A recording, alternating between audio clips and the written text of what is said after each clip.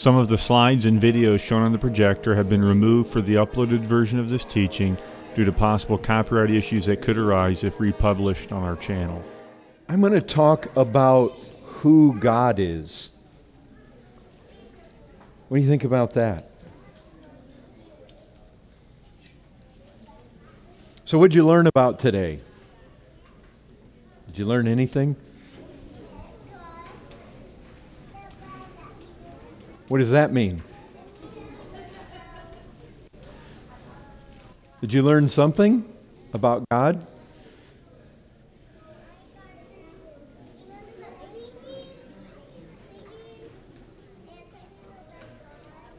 What did, what did you learn? Aha. I see, now that one's interesting. What did you learn? You what? That God is true. God is true. What did you learn? Attributes. What about his attributes? He has some.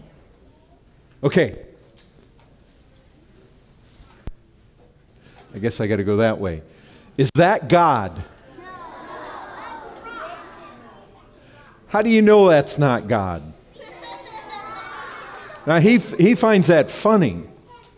But you know, there are probably people who bow down and worship before stones. There's some people that have lived and are alive right now that don't think it's so funny to think that a rock is God. What is it, sweet?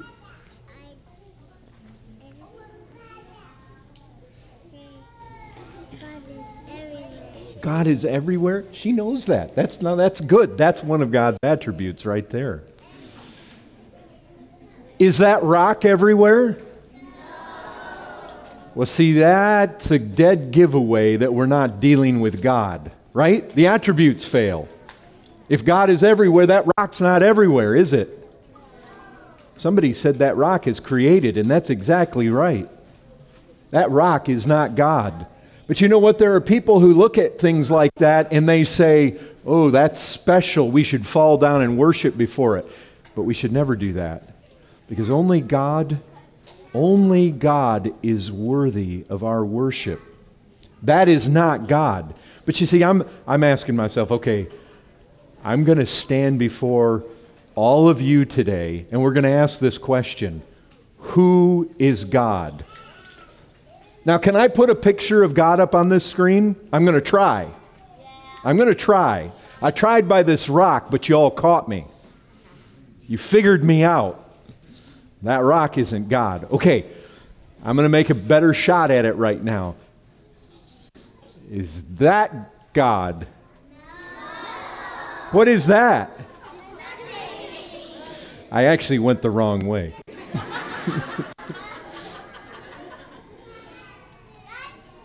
What about that?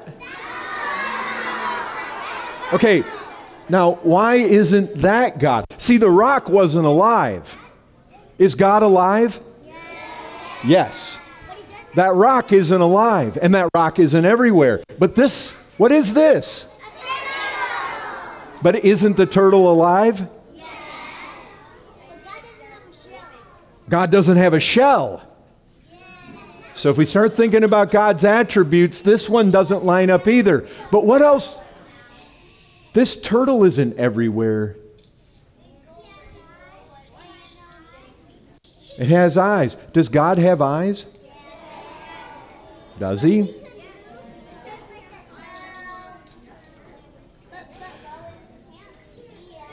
Do- let me ask you this Does God have eyes? Is God a man or is God spirit? Does a spirit have eyes? No. Now, we know this God became man.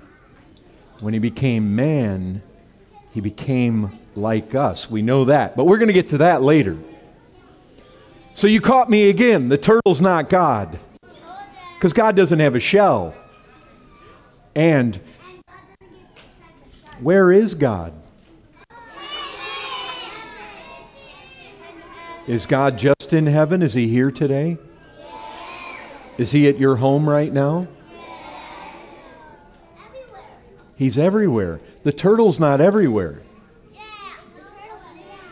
And you know what else? God knows everything. That turtle, he doesn't know you. And you know what else? God is very wise. That turtle's wisdom is pretty limited. He probably knows how to swim.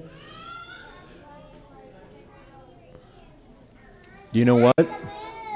God specifically said, do not bow down to the sun or to the moon or to the stars.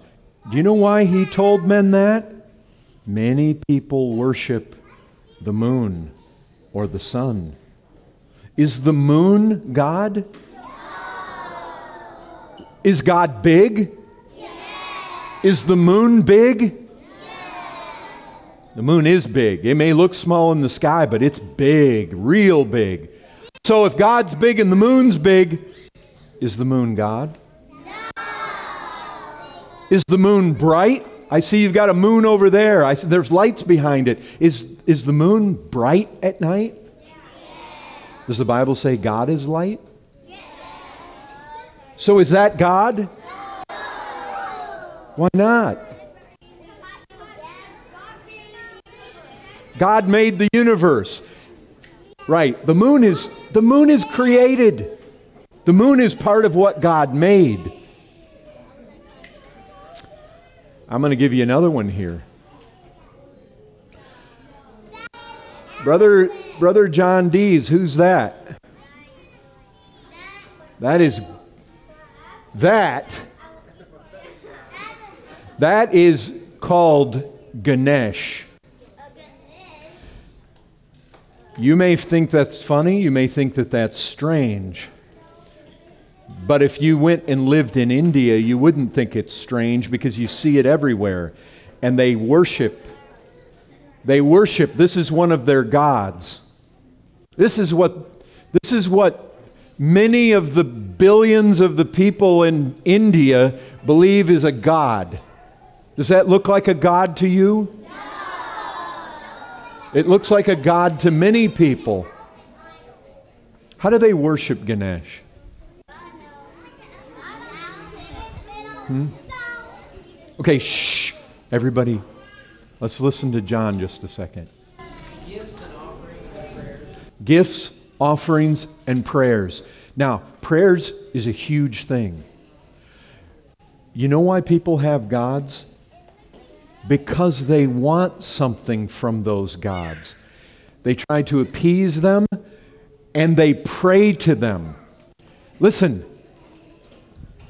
is God the true God? Is He a God you can pray to? Why would you want to pray to Him? But what does that mean for Him to be a God? Why pray to God? Why should I pray to God? Why should you pray to God? Hmm? What's that? Because we love Him? But what's another reason? That's a good reason. Why, why pray to God? What's, tell me.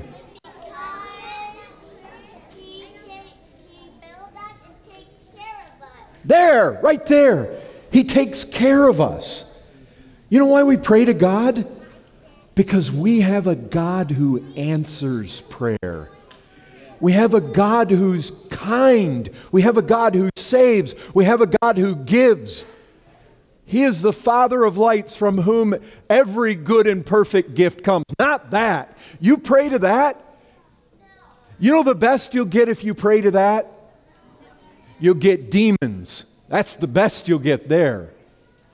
But they don't love you and they don't have your good in mind.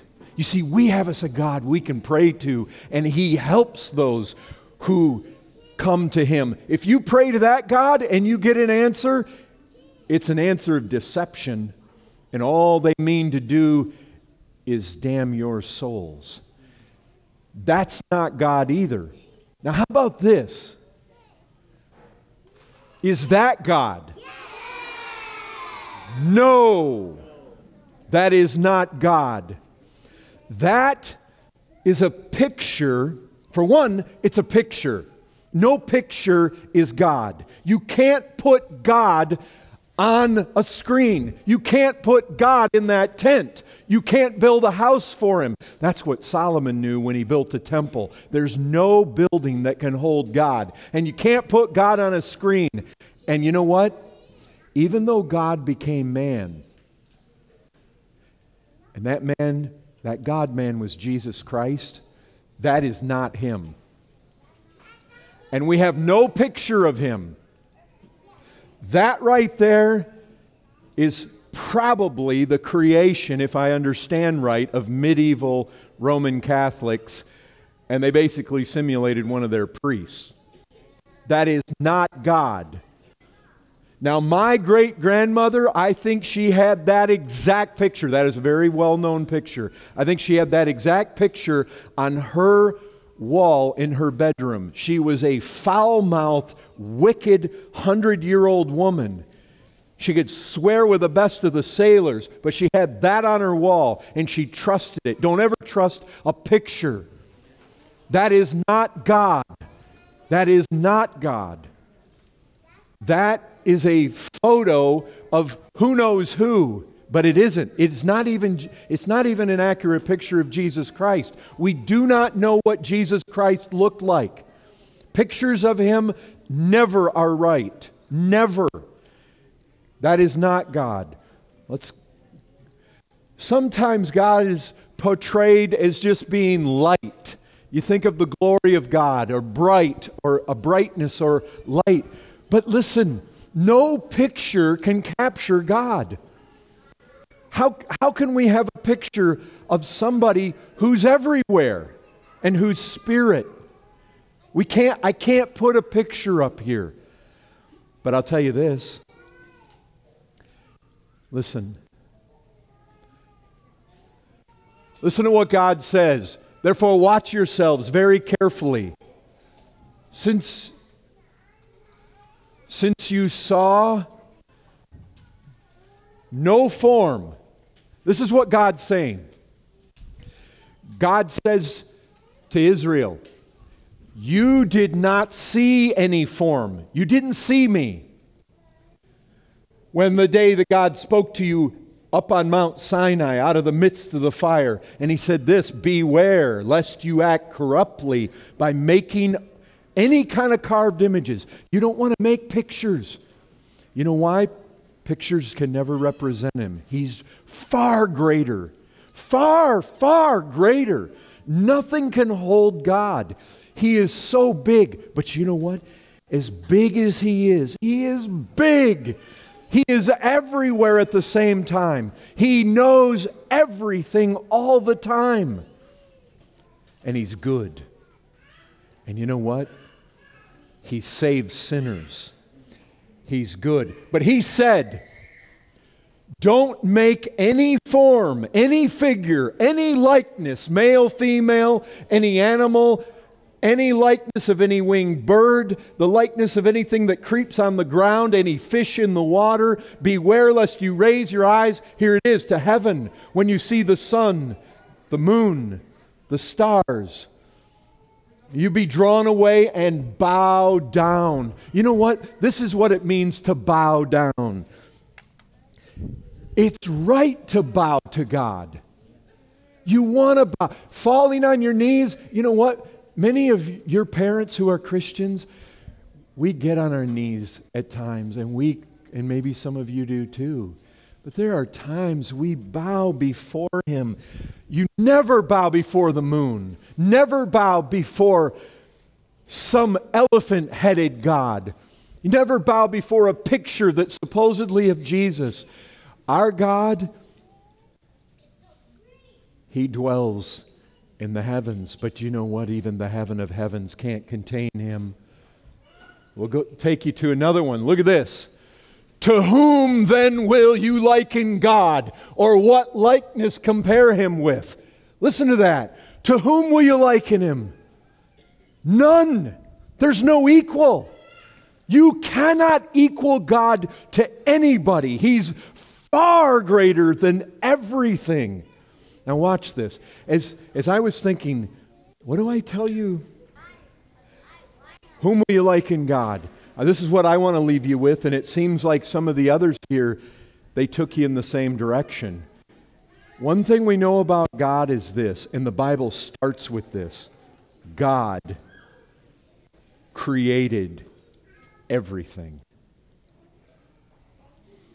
Have you not known? Have you not heard? The Lord is the everlasting God, the Creator. This comes up so much in your Bibles. The Creator of the ends of the earth. He does not faint or grow weary. His understanding is unsearchable. Watch this. This just takes you quickly through the six days.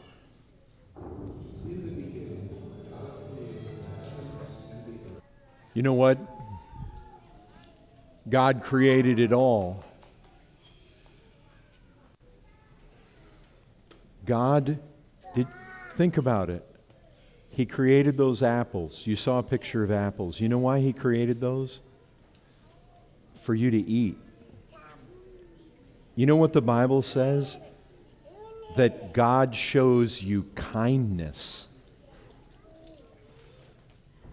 Because the Lord the Lord would have you to repent trust Christ. But I want you to know this God, He's big, He's great. You can't put Him on that screen. You can show pictures of what He created, but I can't put a picture of God up there. There is no picture of God. The, the picture of God is found in your Bibles. It's, it tells us all about Him. If you want to learn about this God, you don't go look in a book and, and at pictures. You go look in your Bible and you read about what it says about him. And this is one of the first things that it says about him. In the beginning, God created the heaven and the earth. Our God is the creator. And so that's what I want to leave you with. Okay? Let's, let's pray. Father, I pray that, that these children would, would have their minds opened up to behold greatness, glory. Father, we don't, we don't grasp and, and how much how much we desire to have you open up the eyes and the, the hearts of our children to recognize the greatness. We know what they're going to be attacked with. We know that we know that the schools and the colleges and the, the very mindset of the world, the worldviews around us that that proclaim evolution and, and they they dishonor you and they, they spit at at your glory. And Lord, we we know you created we know that there, Lord, we know that our views of you are, are yet too small. And we, we hear those words ring out to Job. Were you there when I laid the foundations of the world? If, if you were, if you have understanding, but we weren't there. We weren't there. But we can behold, we can see what you've done. And we know that you are a God who, who does love sinners, and we're thankful for that. And I pray for these children. Lord, in your kindness, open their eyes to behold your glory. I pray in Christ's name. Amen.